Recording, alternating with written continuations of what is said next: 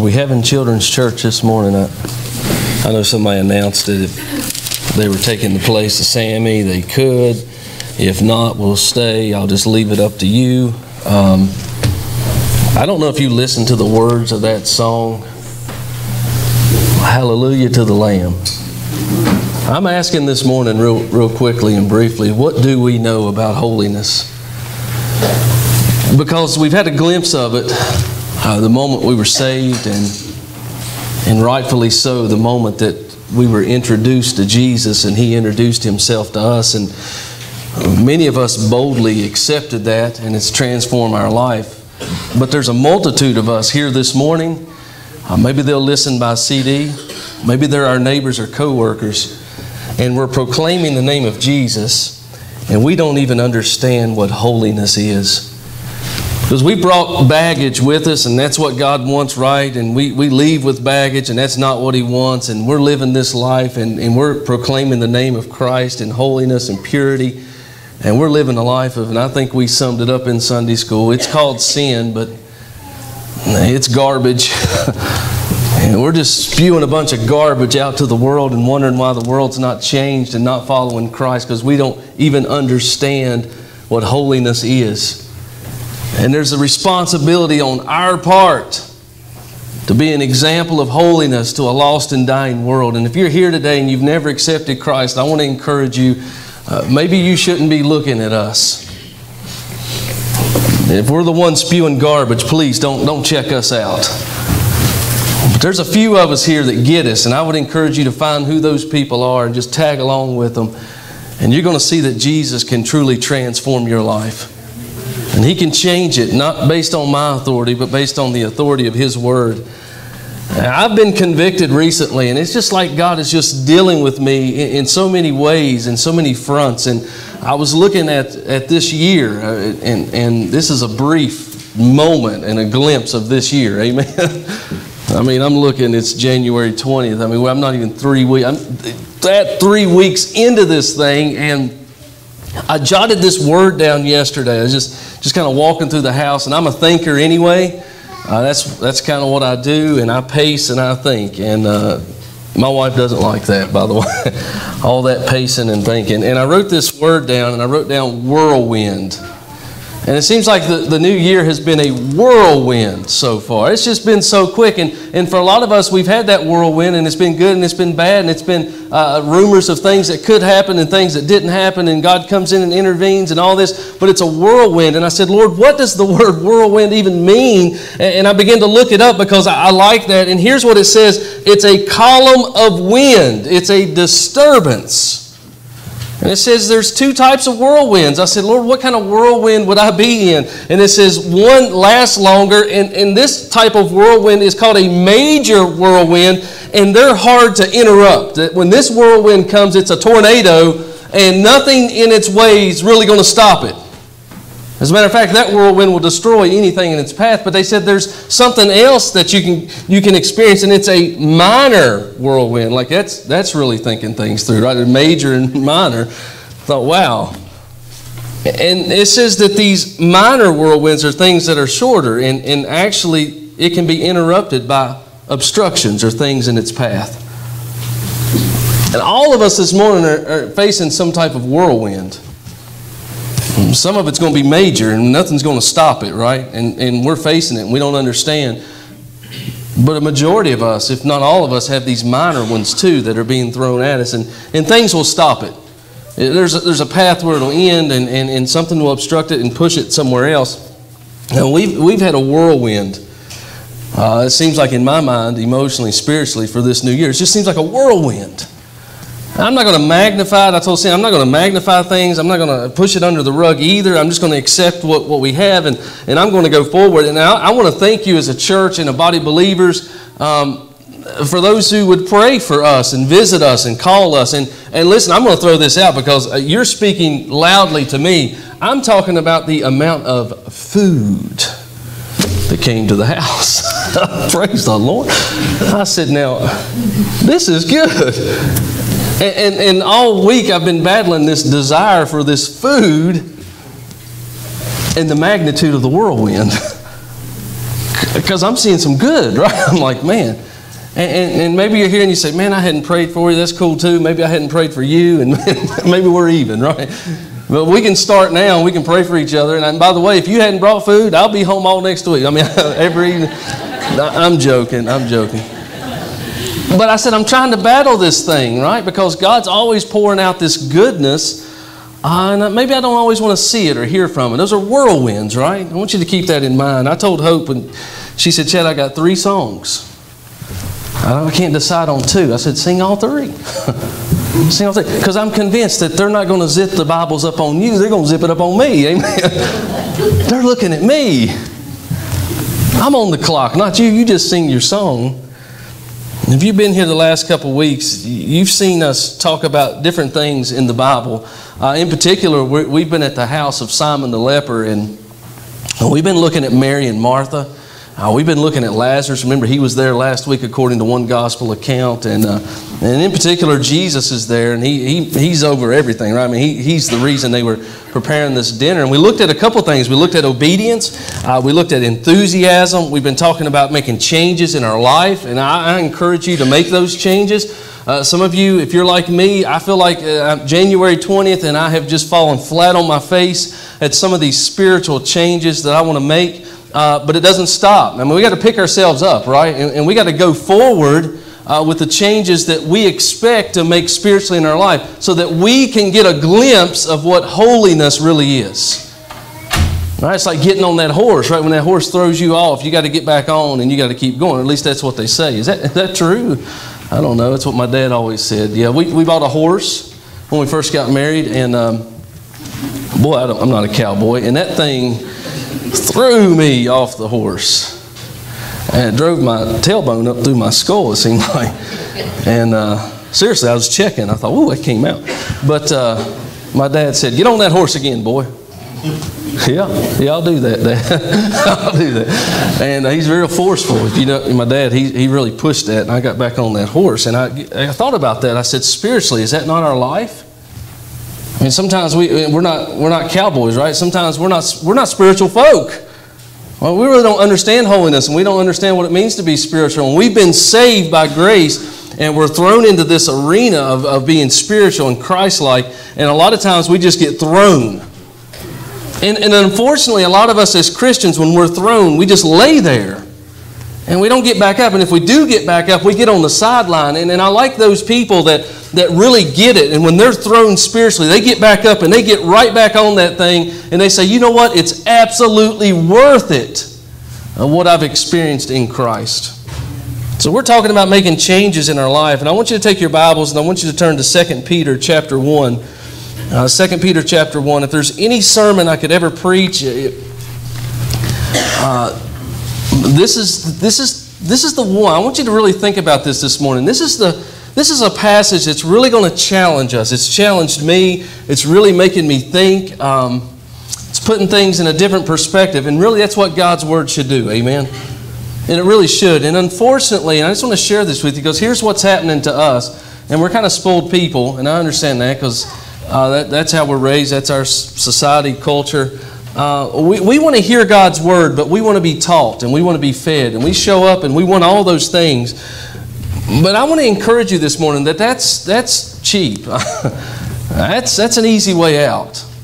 Because really, what's going to make a difference in your life and my life is when we go home and we're alone with the Lord. It's when we're alone and we're reading His Word. Now, listen, I'm not. I'm, I, it's important to come out, and I know that, and, and, and I want you to, and, and, I want us to worship. And um, but if that's all we're doing, Let's be honest. And I'm talking about myself, and uh, you know they always say if the shoe fits, right? Uh, and I want you to look at yourself. Uh, if that's all we're doing, shame on us.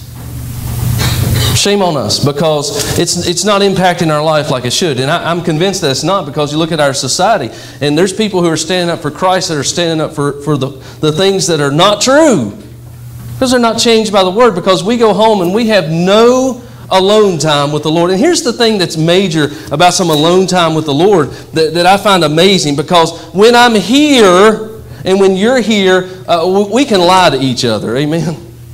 I mean, we're holy and we're spiritual.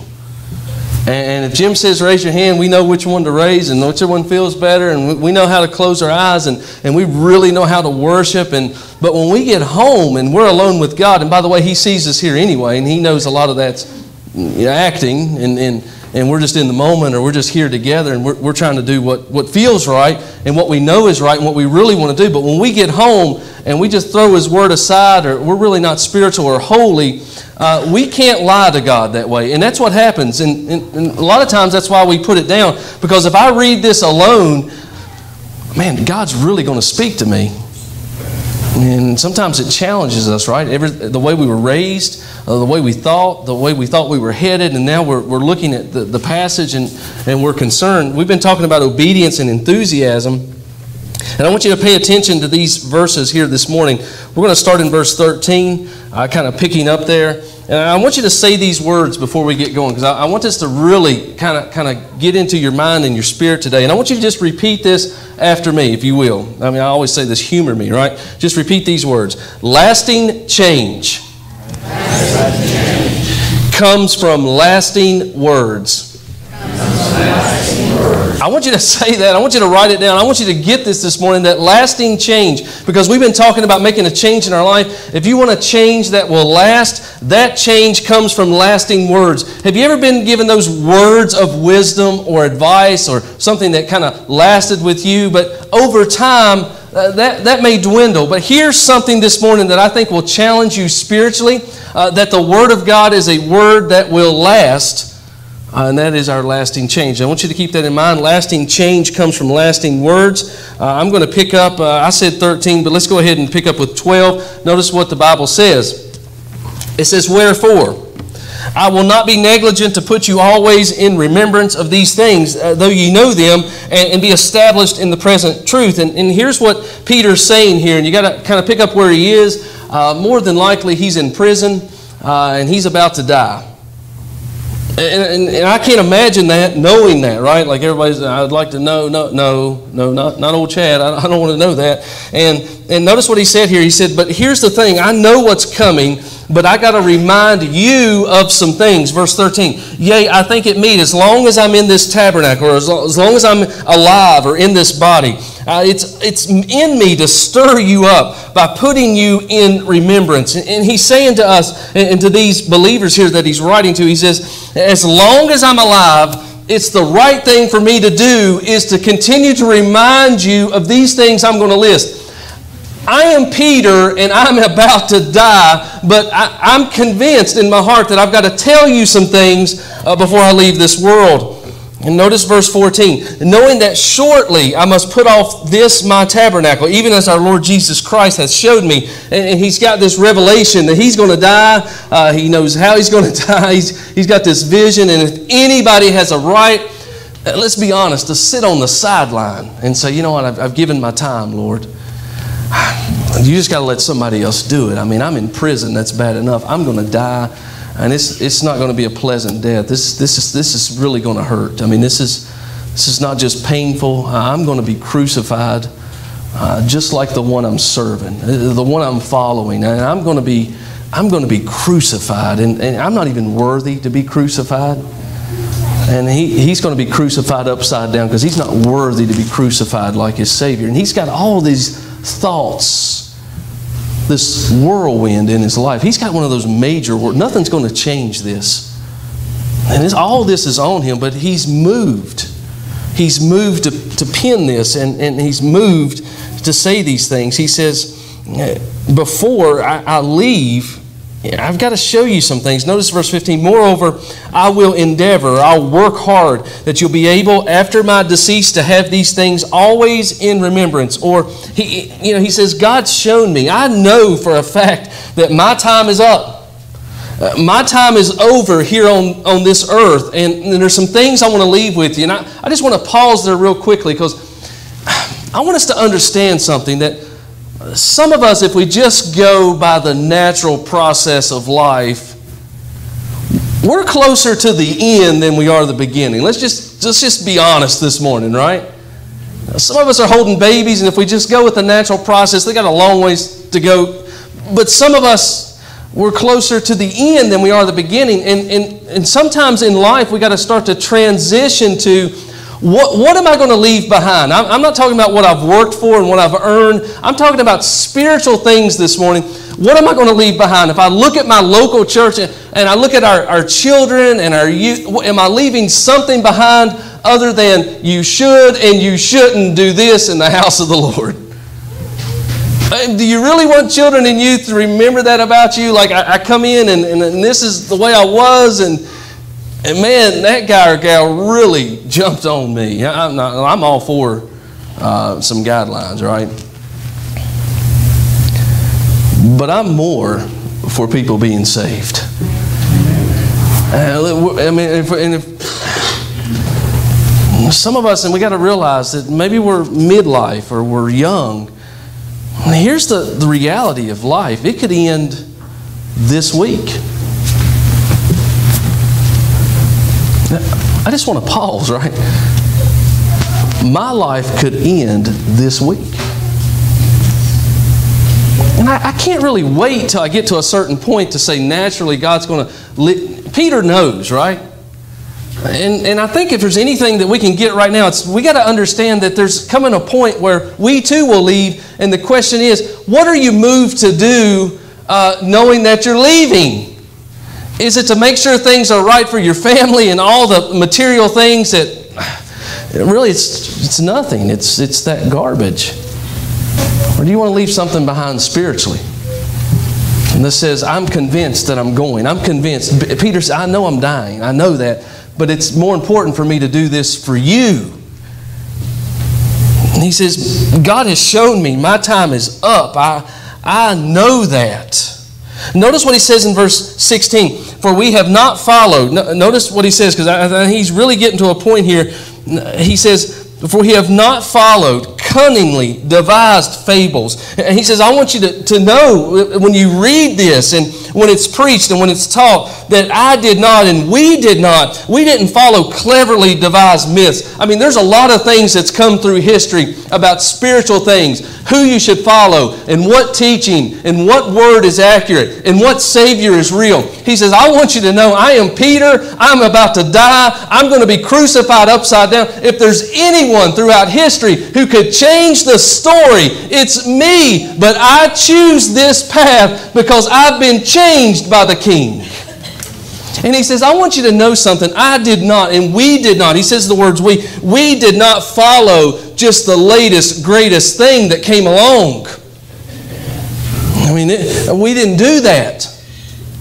We didn't follow these myths. And, and if we look at our own society, they're going to come more, they're going to continue to come. Something new will come out and something, a new teaching and a new thought and a, and a new way to worship will come. And all these things will come out. And he says, listen, we didn't follow all that. And it's clever, by the way. I mean, it's going to confuse you if you allow it because we have no idea, no glimpse of what holiness is. And he says, but I want you to know, we didn't follow that.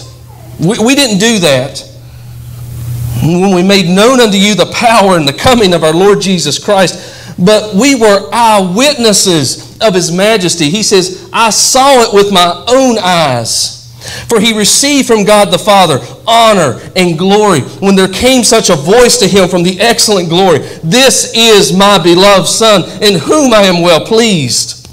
In verse 18, and this voice which came from heaven we heard when we were with him in the holy mount he says notice this what is he referring to? I mean we could take our we could go right back to matthew. We're in chapter 17 they're on the mountain and he says listen i was there with jesus when his face he says just the just the glory of his face it just shone like the sun. It was, it was so bright. I couldn't even look at him and i saw it with my own eyes what's about to come in the future. He said, I want you to know I saw that. I'm convinced, I believe, I, I know what the future holds. I'm in the living room with Connor, looking at life, right? We're just looking at life, and Connor says, I've, I've got a dream, Dan. I said, Wow, that's good. What's your dream, son? It's funny how kids, he said, I got a dream. When I grow up, I'm going to make my own pop. That's good. I said, Well, that's good, honey. I, I, you got to have dreams. You got to have something to work for, right?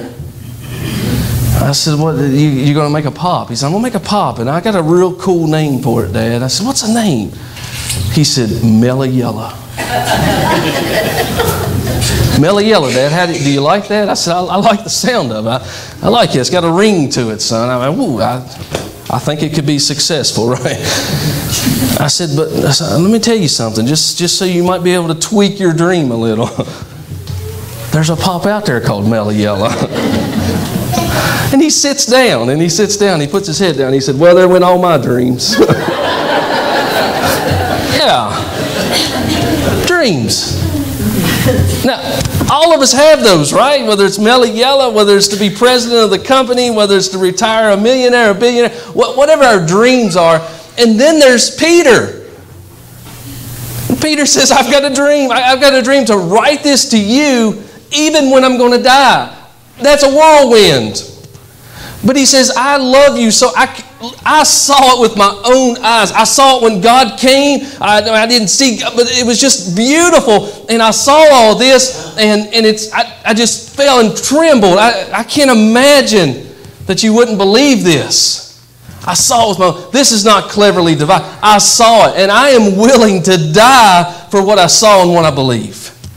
I'm willing to do that. I saw all of that glory. Now, I'm thinking, if me and a few of you, uh, we went up on this mountain and we were just talking, and, and my face started to glow like the sun.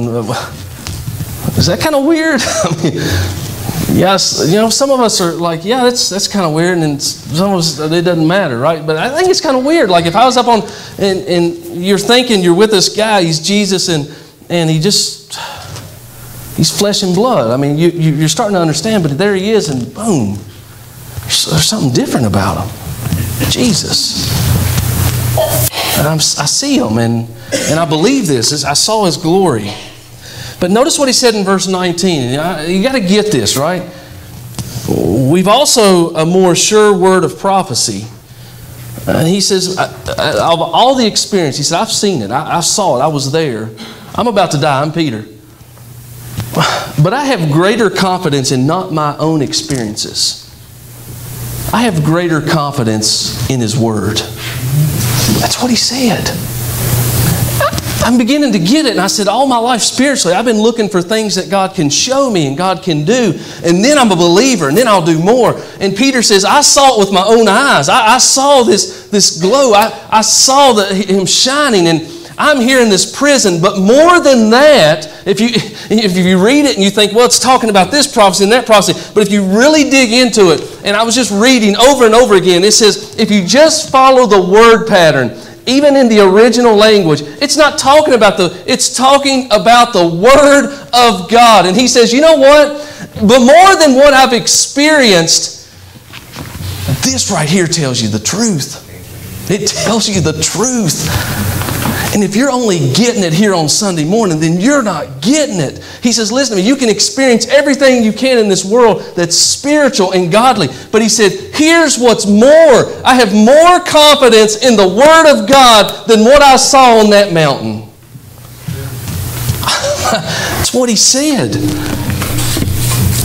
A more sure word of prophecy, greater confidence, whereunto ye do well that you take heed. He says, It does you. You're going to do very well in your life if you pay close attention to what I'm writing, as unto a light that shineth in a dark place until the day dawn and the day star arise in your hearts. He says, It's more than what I saw. We have the words of the Creator of the universe, and it's in most of our hands this morning.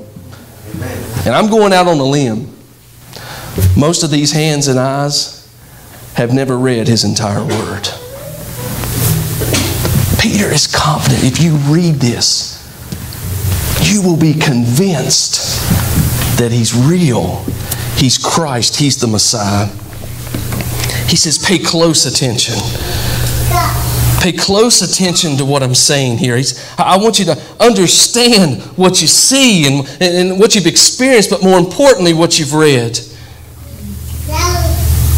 Verse 20, he says, knowing this first, that no prophecy of the scripture is of any private interpretation. It's not about an opinion, it's not about an interpretation. And have you noticed that? That when you spread God's word, or you teach God's word, or you preach God's word, many people will say, well, that's your interpretation of that passage. And I'm, and I'm convinced, and I read this, and Peter says, that's not true.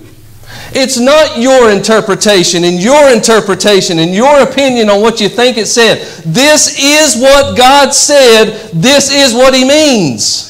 That's what He says. And He says, I am more confident in the Word than seeing Him on the mountain face to face.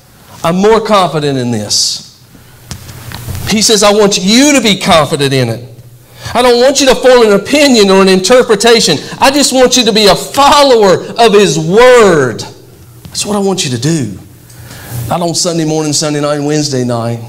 He said, I want you to go home and I want you to be alone with your Creator and read His Word. That's what I want you to do. I'm about to die.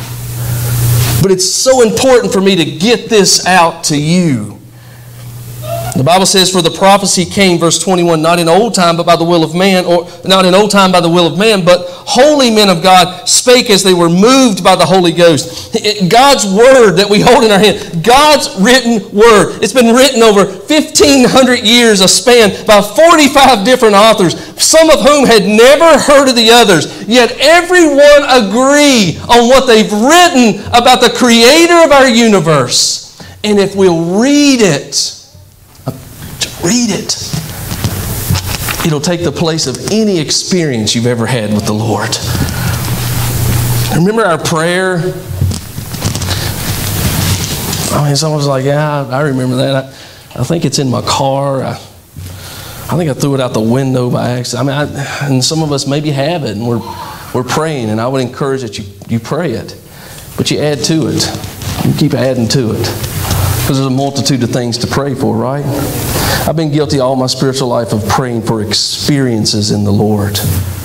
And the experiences are okay. I mean, that's what Peter said, it's okay, but here, I got to have moments with His Word.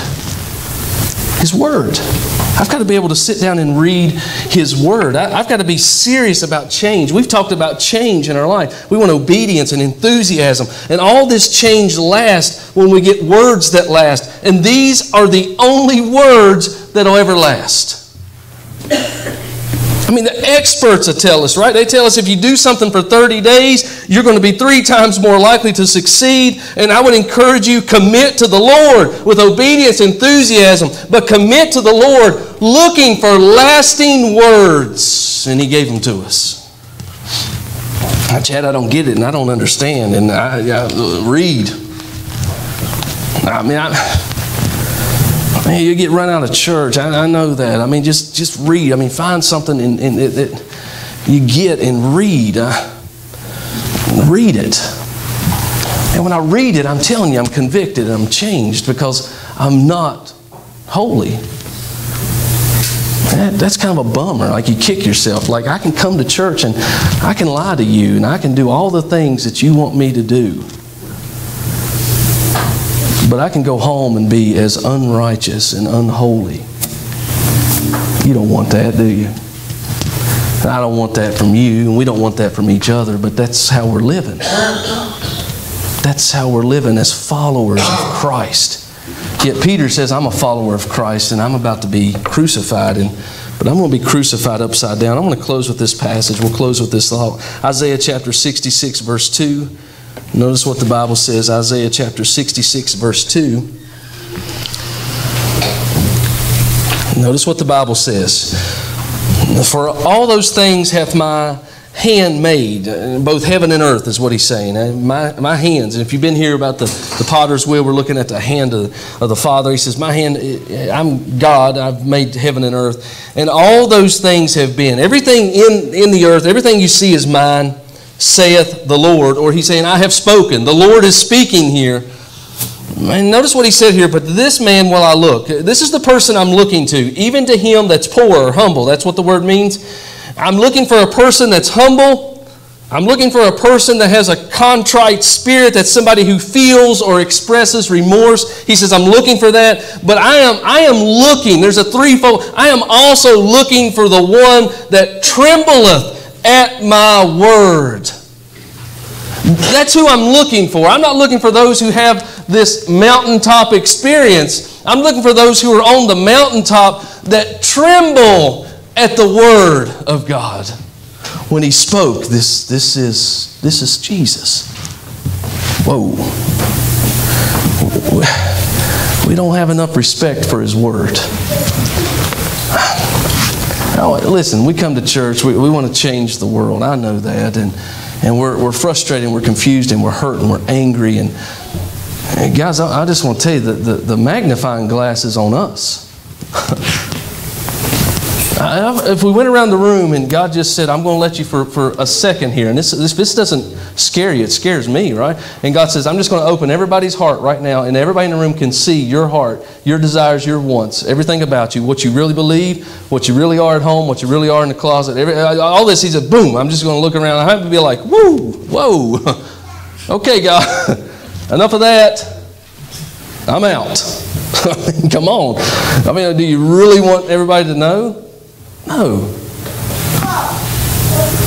What if we went around the room and said, man, they're in, his, they're in Word, they're, they're reading and studying and applying it, and they're followers of Christ.